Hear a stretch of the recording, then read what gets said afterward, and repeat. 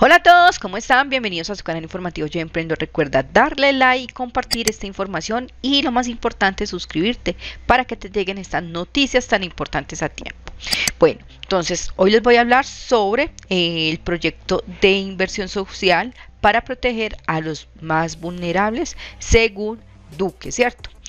Bueno, entonces en esta reunión Duque advirtió que se requiere garantizar la permanencia como ingreso solidario y estabilizar las finanzas y subrayó que estos programas significan dar apoyo económico a más de 10 millones de hogares en nuestro país. Recuerden que actualmente hay muchas personas necesitadas, ¿sí? Y es importante con esta nueva reforma tributaria que viene, ¿sí?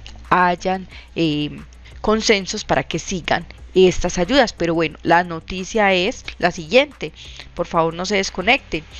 Bueno, dice que hubo un consenso y van a extender el ingreso solidario hasta diciembre del año 2022. Esto permite proteger a quienes más lo necesitan en nuestro país, mantener una política social activa y sobre todo cerrar brechas, sostuvo. Bueno, cito también el subsidio a la nómina o programa de apoyo al empleo formal que se llama PAIF, que permitió cubrir el 40 50% del salario mínimo legal mensual de cerca de 4 millones de trabajadores y proteger este ingreso de millones de familias.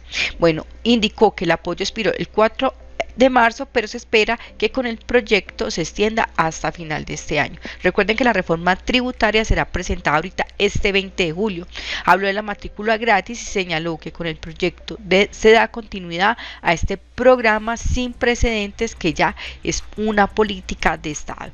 Asimismo, explicó la estrategia para el empleo joven que empezó el pasado primero de julio y dijo que también se garantizará con la población la aprobación de la iniciativa de inversión social.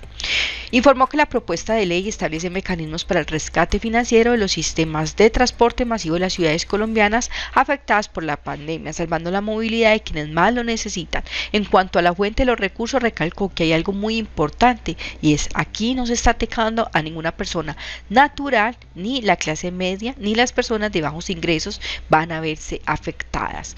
Aquí no se está tocando la tarifa de IVA no se están tocando las pensiones, nada de eso y eso es muy importante dejarlo claro. Y agregó que para financiar estos programas ¿sí? de las ayudas sociales se plantean una sobretasa de renta que cubrirían quienes, las empresas, un programa ambicioso de austeridad y seguir luchando contra la evasión, entre otras acciones. Bueno, en esta reunión participaron lo que fueron los ministros de Hacienda, que es José Manuel Restrepo, el del Interior Daniel Palacios y Educación María Victoria Angulo y la gobernadora del Valle del Cauca Clara Luz Rondar y los alcaldes de la región. Entonces, escuchemos aquí lo que dice de ingreso solidario. Que hemos consensuado y que será radicada. Y de nuevo le agradezco a los representantes de los distintos partidos en el Congreso. Con ese consenso vamos a extender el ingreso solidario hasta diciembre del año 2022. Eso permite proteger a quienes más lo necesitan en nuestro país, mantener una política social activa y sobre todo cerrar brechas. Por eso, señores congresistas y también a los representantes del sector privado, les agradezco y creo que ustedes todos tienen que enviarle ese mensaje a quienes han recibido también ese beneficio. Y un aplauso para esas familias, para esos pequeños negocios en toda Colombia. Bueno amigos, entonces aquí esta información pues es muy real, entonces seguramente va, se va a radicar y va a ser un hecho. Entonces recuerden, ingreso solidario hasta diciembre del 2022.